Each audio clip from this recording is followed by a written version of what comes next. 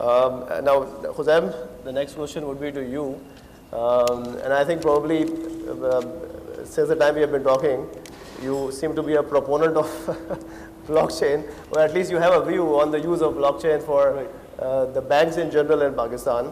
Um, so what kind of thoughts you have, not just on blockchain, by the way, also on cloud and uh, technologies which are cloud-based in Pakistan, cloud-based out of Pakistan, the use of the clouds. So would you share your thoughts on these two major aspects, please? Absolutely, but uh, I will um, sort of focus more on the, a little bit on the legal side.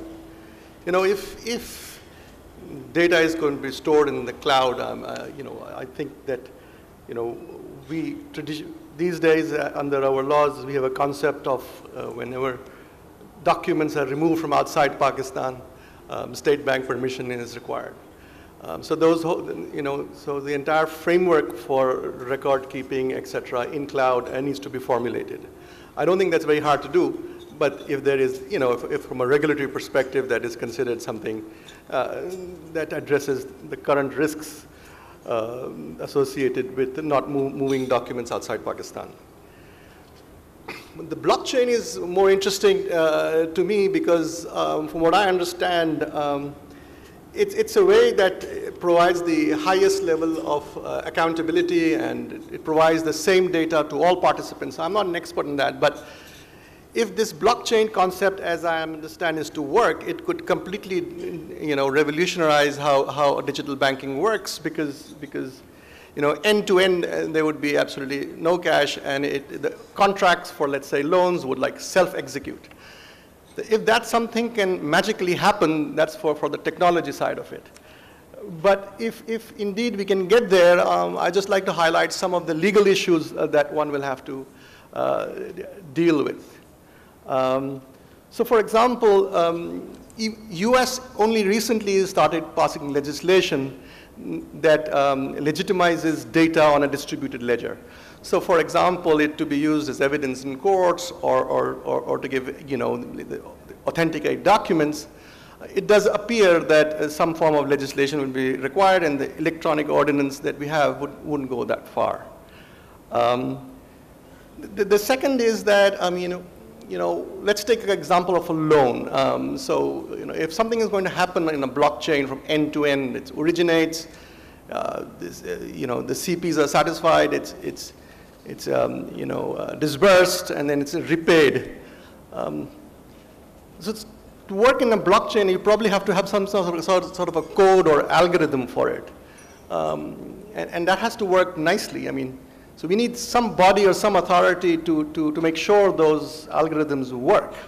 Um, I'm not a technology expert, but you know, these are very, very important things. You, you can't just use blockchain. You have to create a complex algorithm for it. And that's why in previous panels have talked about mathematicians being involved. Um, also, there's this issue of security. Um, so if in a loan you want to create security, I mean, uh, you know, how does, will that work? Uh, there's, there's, a, there's a little bit of a problem there uh, in the context of creating security interests when it relates to immovable property or negotiable instruments. Because we do have our electronic um, transactions ordinance that, that, that, that gives validity to electronic contracts, um, but it excludes, um, you know, contracts relating to immovable property or, or, or negotiable instruments. So under the present legislation, you, you probably could not create, a, you know, you couldn't have digital banking, uh, which involves security interests, um, you know, particularly if they involve immovable property or negotiable instruments. So one would have to look whether you want to, you know, you know, um, um, uh, fix that. Um, the other issue is, is you know, what we face is with respect to um, um, stamp duty. So, for example, under our electronic, um, you know, ordinance, it says that there's no stamp duty for electronic contracts for two years or until you have a system in place to collect stamp duty. Now, that system is not in place today, and, and that system will have to be developed as to how you collect it electronically. But there is an immediate problem, which is that, um, at least in the province of Sindh, the stamp, the stamp authorities have amended the definition of instrument um, to include um, electronic contracts, emails, etc. and are saying that now we have a system to collect stamp duty, so pay stamp duty to electronic documents, and there is no possible way to do that. So either we, you know, work with the government of, uh, with the government of Sindh to say that, listen, you know, that's crazy, or we start implementing a system by which um, the stamp duty can be, uh, can be collected. Um, but overall, the thing, the other issue is that, um, you know, some body of case law has to develop on electronic contracts.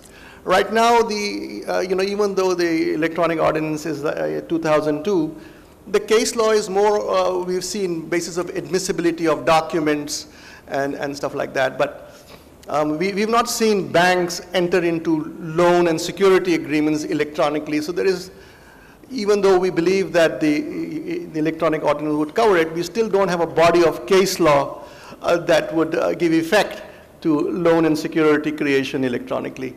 And, and, and, and I, I think for banks ultimately to get comfortable to you know, do their lending work electronically, they will need you know, some default on these contracts and some case law to give it validity. And, and that, will, you know, that will develop over time.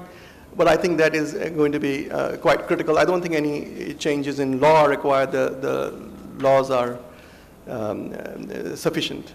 And insofar as I do not also think there is serious amounts of legislation required. I think the state bank has enough powers to give it in yeah. the digital uh, banking um, in, in, enabling um, setup. But if you're going to use blockchain, then we will need legislation. Thank you very Thank much, uh, I think probably you are absolutely right. When we review this Electronic um, Fund Act, you know, Payment System Electronic Fund, Fund Act, and the way in which State Bank has put together this PSO, PSP regulations, at least from a payments perspective and from an electronic fund identification perspective, we find it a lot flexible in terms of uh, in terms of state bank being able to put in additional guidelines and additional uh, you know uh, secure, security control or you know additional uh, regulatory frameworks right. on their own right. rather than to resort to having an act or an ordinance in this regard. But I think your point is extremely valid with respect to blockchain.